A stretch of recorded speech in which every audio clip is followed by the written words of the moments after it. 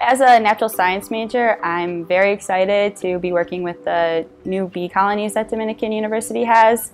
Each week we take part in checkups and manage the hives, make sure all the activity is as normal as it should be. From the queen bees to the worker bees, they, the way they interact and can all manage to have one strong surviving colony is just extremely fascinating. What our job consists of is taking a look at um, the whole production that's going on within the hive. Uh, there's usually um, honeycomb that's starting to form at the beginning and then the bees kind of do their whole process of putting in pollen and nectar into the, into the cells and the queen starts working on producing eggs. And honeybees are pollinators that are really useful for a lot of our agriculture for, for fruits and vegetables. We've set up honeybee hives in our campus to really understand the complexity of both the life of a honeybee as well as the roles they play in pollination. So this is a, really complex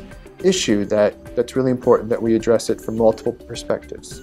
Not just biology, but also nutrition, political science, philosophy, business. What are the all, how, how do all the disciplines contribute to understanding of, of, of the life of a pollinator? I teach environmental philosophy and environmental ethics. So when we look at the bees, we can look at the use of pesticides, we can look at the way that we practice agriculture now, we can look at the ways that in which we are deforesting and the ways in which we're taking away habitat. All of this we can look at through the bees.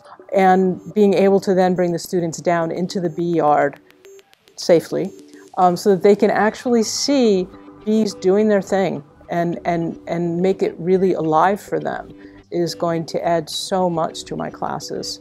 I think the bees provide a really awesome educational experience for students because they are such complex creatures and we can learn so much from their behavior.